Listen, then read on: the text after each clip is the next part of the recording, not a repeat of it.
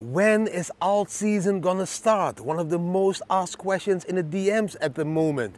I'm gonna give you the answer now.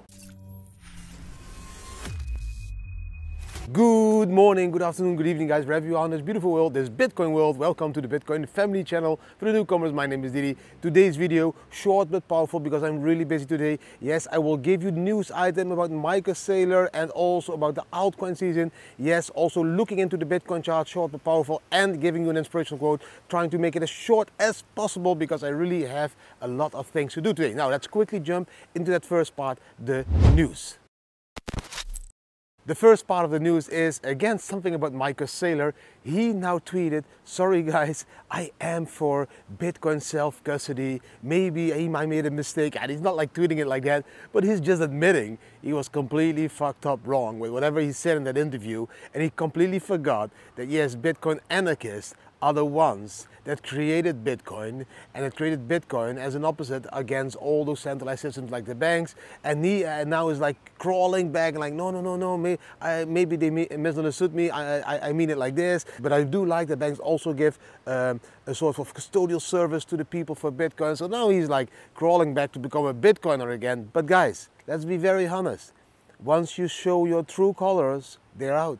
And Michael, you showed your true colors. Yes, you love Bitcoin because it saved your company. Yes, you love Bitcoin because it made you more US dollars or euros, whatever it is. Yes, you love Bitcoin because it filled your normal bank accounts again. Yes, you don't love Bitcoin because you understand the fundamentals, etc.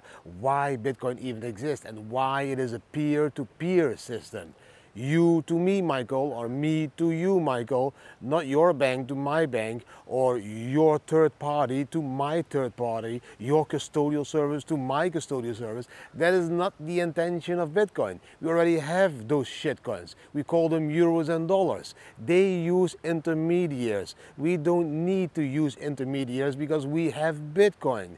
That is the Bitcoin mentality. I can send you Bitcoin, Michael, wherever you are in the world within a couple of seconds, feelers almost, and nobody will ever be able to stop me from sending it to you, wherever you am, wherever I am. That is Bitcoin. Not please bank, can I send some Bitcoin? Or please bank, can I buy some Bitcoin? Or please my bank, or please my BlackRock, can you send some Bitcoin to that person? That is not Bitcoin. So that was the first news item. Second news item, when will altcoin season begin? Guys, altcoin season is probably going to begin when Bitcoin reaches a price of around 80,000 US dollar. So that's a price surge around 18% from 67 where we are now to 80k. Why do I say 80,000 US dollar? Because probably at that moment the Bitcoin dominance will be between 62 and 70%. And whenever the Bitcoin dominance goes in between those levels, that's mostly when the altcoin season picks up. At the moment, the Bitcoin dominance is around 59%, so which means it represents 59% of the complete capital in cryptocurrency. The moment Bitcoin goes to 62, 63, 65, 70 area, that is mostly when the dominance becomes too high and when the altcoins start to take over. So if you ask me when the altcoin season is going to begin, I'm just telling you, watch the king. Just take a look at Bitcoin the king. I know you love the altcoins. I know it's beautiful, but Bitcoin is leading. Bitcoin is king. When the Bitcoin dominance gets too high, that is the moment altcoin season could start. But let me also be very clear in this. The 2017 altcoin season was an altcoin season where there were not that many altcoins. In 2021, there were again a double or triple amount of altcoins. Now, the 2024-5 altcoin season, there's almost 100 times as much altcoins as there were in 2017. So please understand that everyone in the world just has one bag with money. Just see it like that, very simple, a bag of money. And they're able to invest that bag of money in some cryptocurrencies. A part goes into Bitcoin, a part goes into Ethereum, a part goes into other layer one altcoins, a part goes into meme coins and NFTs. But the more coins, NFTs and meme coins there will be, the more those bags need to be spread among all of these tokens, the less power a single altcoin will have. Because altcoins need a lot of liquidity to pump. And if that liquidity is shared, it starts to rain now, between a lot of projects, then of course those pumps can't exist anymore. So please be aware of that. But keep an eye on Bitcoin. Then Bitcoin goes to dominance of 60 to 70%. That is when the altcoins probably start to run. Those altcoins that still have a huge community or those ones that are unexpected meme coins that just pump as hell without any reason. Now, that was my answer in the news. Now let's quickly jump into the charts. I can go inside because it starts to rain and show you what is happening to Bitcoin today because Bitcoin is king and it's way more important than all the altcoins combined, guys. Now, bam. The first chart for today, guys, is this four hour chart. On the four hour chart, you can see we again are playing out the way I told you guys. Yes, wick through this yellow line and I told you we would go up my target still is 72,000 US dollar. I want to break the 70k. This is not, not, not like tomorrow or the day after. It can take one week or two weeks, but this is the target that we are going to hunt for. The next resistance is at this blue box that we are now hitting, guys. This is the resistance. So yes, if you're in a trade and there will be a sell signal, it's a short-term trade. You need to be taking your profits. The green just got started. The red line is taking over of the green line on top over there on the bottom. You can see that over here. That is where the red line is now taking over. The green starts to go flat at the moment. So here the green line, the blue line is crossing the green line down. So that means the market is not as bullish as it was during the pump, but it doesn't mean you need to sell yet. You know, we can still wait and be in profit, maybe break this area of resistance to touch that 70K, a little bit higher than this wick over there so that we at least created a higher high on this uh, on this chart, guys. And then see, let's see where it goes. There is no rush for me. The rush is going to be in 2025 all the way above 100k. The Gaussian channel, we've been talking about it also very long time. I told you, I guided you through the whole Gaussian channel. Please don't forget that. I told you we get sucked into it. We will get sucked to the midline. If we break that, I told you we could get sucked even to the bottom. Luckily, we found support over there. We found resistance. Yeah, we couldn't break out. We retested this downward trend line. You remember all those videos? And now we broke out and we are closing two candles already above that Gaussian channel. Two five-day candles above the channel, which of course is amazing. This one, the last one, a huge wick to the bottom. Hopefully this is going to close in one day in 23 hours around the level of 67 or even higher, maybe 68K, then it's a tiny body, large wick. There's a lot of upward movement for Bitcoin in the next five day candle, guys. Um, at the moment, I'm also looking into this one. Do your own research. Yeah, that's what I always say. But this one is called Dior. It's going to be fighting the DEXTools tool that uh, a lot of you use for all the altcoins. But I believe this one is going to be better. I'm going to invest in this one. But I always do your own research, guys. But this one has crazy cool functions. I come back to that later in another video where I will walk you through what all the possibilities are in this platform, guys. Now let's jump into some more amazing charts. These ones over here, guys, these are very important charts. This is the Bitcoin halving cycle. Now I'm going to try to talk as slow as possible to make it as clear as possible. The halving, the first one, when it started, it started at like, let's say 10 cents. We ended that had the next halving at $12. Okay? Then the next halving started at that $12, that four year cycle that ended at the halving, next halving of $665. So from 12 to $665. Then the next halving went, of course, from that $665 and it ended four years later at the next halving at $8,700. Do you understand what I'm saying?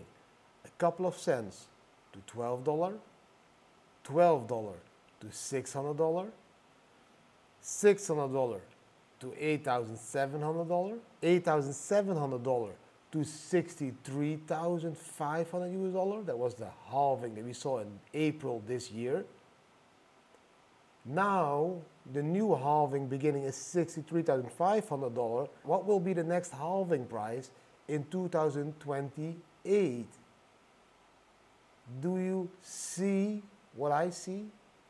A couple of cents to 12, 12 to 600, 600 to 8,000, 8,000 to 60,000, 60,000 to?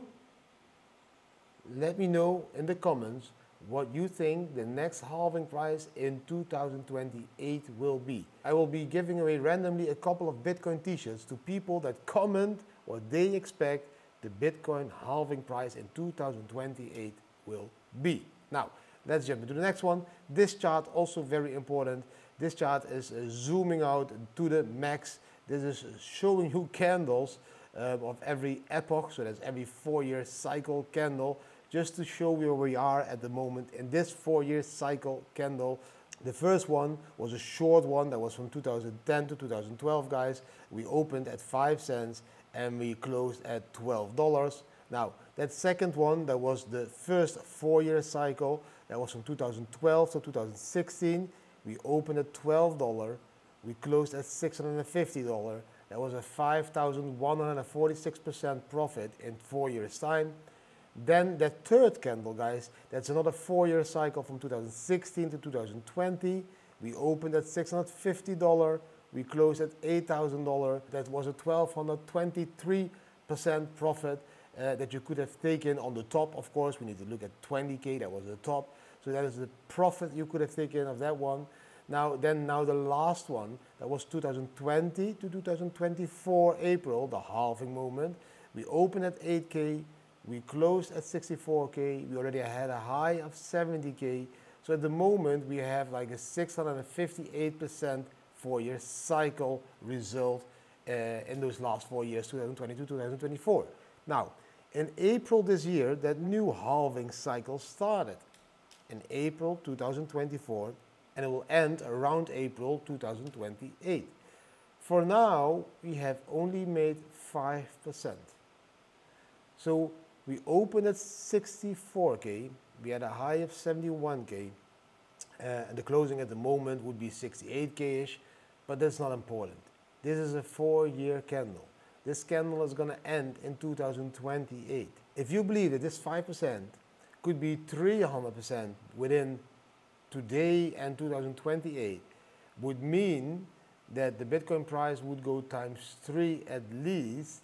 That would mean the Bitcoin top of this candle could be 180K between now and 2028. If you believe that, then that's already a reason for you to invest in Bitcoin because you're tripling your capital in the next couple of years. If you don't believe that, maybe you should not be investing in Bitcoin. Other people believe that the Bitcoin price within now, 2024 and 2030 could also go to a million dollar per Bitcoin, which would mean that the 5% would be turning into 1500% in the next two cycles. Just understand this how big the profits were in those first couple of four year halving cycles. More than 5,000%, more than 1,000%, more than 600%. If this one is only going to be more than 300%, I would already be happy. Just understand how this chart works. If you don't understand how this chart works, then pause the video and analyze it a little bit more. Now let's jump into the last part of the video. I hope you really enjoyed the Bitcoin charts. Short term, amazing volatility, amazing trading setups. Yes, the Bitcoin family indicator setup will be helping you. And to get access to that indicator setup, you need to become part of the didibambam.me group. That's the VIP group. If you become part of the VIPs, you will also get access to those indicator setups, guys. Also to the VIP signal group, also the VIP group just on Telegram where we can uh, chat about really cool stuff where I share charts, everything every day. Also the Telegram mini app that's in development. And now we even have a really cool cool thing going on. You can win some NFTs, some didibambam.me NFTs.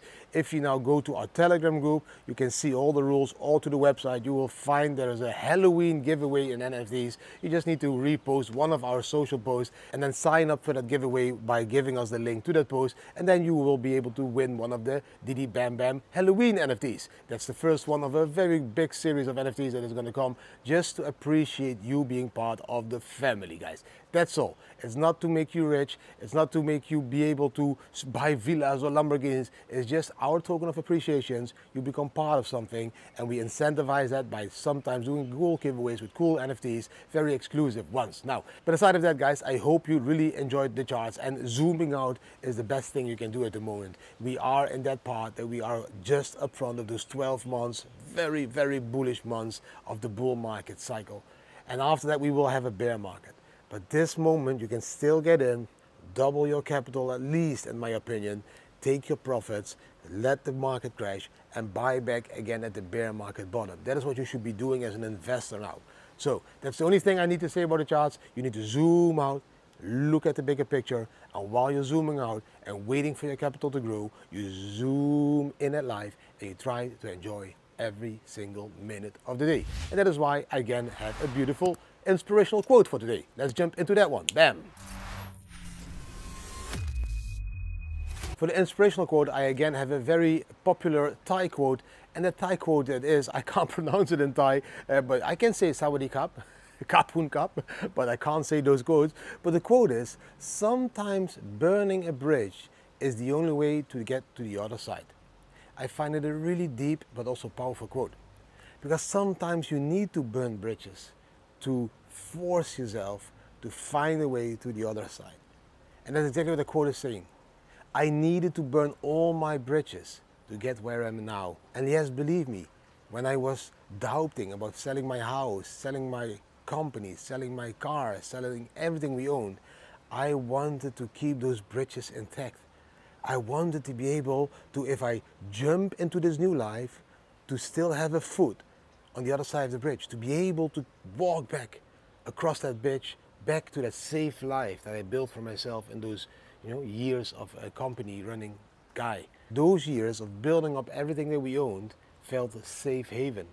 And then when you cross that bridge to somewhere else, a new location, a new life, you mostly want to keep those bridges intact. You want to be able to turn back across that same bridge. And that is why most people don't sell their house and rent out their house. Or when most people just don't fully go for something, but always keep one foot on the other side of that river. And that's exactly the wrong thing to do, in my opinion. The only reason why our story became successful is because we sold the house, we sold the cars, we sold everything we owned. From that moment, we jumped into Thailand and we completely burned that bridge. We could never go back to that moment of owning all that stuff anymore. We burned the bridge to our old life and we flew over to the bridge to build a new life. And that new life, that life was based on our gut feeling, on going with the flow not running the hamster wheel without thinking what is good for yourself or for your wife or for your children or for your dog or for whatever it is that lives with you. Not that way, but just starting to flow in a direction that your everything inside of you tells you to go. Just listening to that gut feeling, listening to that inside voice that tells you you should be traveling, you should explore the world. That voice that we started to follow brought us to this success. And the only reason we could start to flow that way is by burning all those bridges to the past. There shouldn't be any possibility to turn back because if the possibility is there, you won't be able to completely flow into this new future. And I know maybe this sounds a little bit flowy for a lot of people, but it is the truth in my opinion.